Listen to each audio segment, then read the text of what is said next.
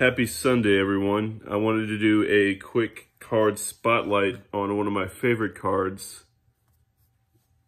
the Hermit.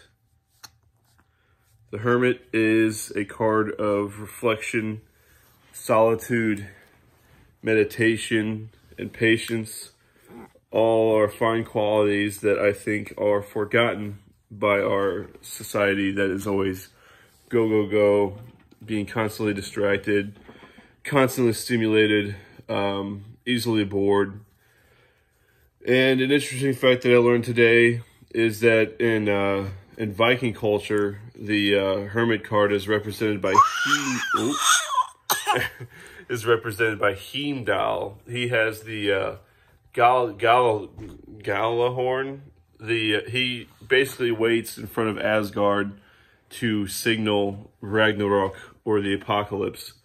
So, yeah, the hermit is always celebrated as being very patient and wise, and he guides others um, to a path to a better life, uh, to greatness, to self fulfillment. So, when I see the hermit in my readings, it just means to take some more time to yourself, um, seek some inner peace take a step away from your your busy day-to-day life and uh, remove distractions. You know, we have our TVs, we have our phones, uh, we have children. Uh, many things can distract us from our higher purpose. Uh, we're working to get by instead of building something for ourselves and for our future.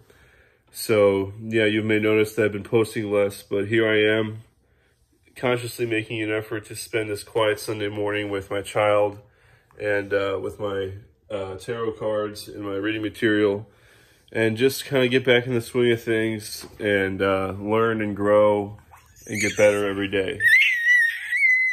So happy Sunday, everyone.